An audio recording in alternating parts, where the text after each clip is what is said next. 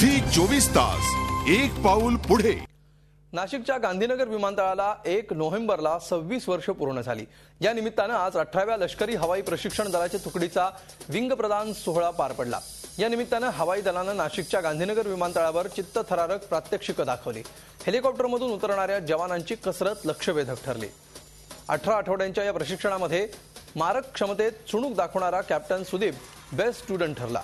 लष्कराच्या मोहिमेत हल्ला करणाऱ्या हेलिकॉप्टर्सचं महत्त्व दिवसेंदिवस वाढत चाललेलं आहे. अत्याधुनिक सुविधा असलेली हेलिकॉप्टर्स हवाई दलात लवकरात लवकर समाविष्ट होणार आहेत.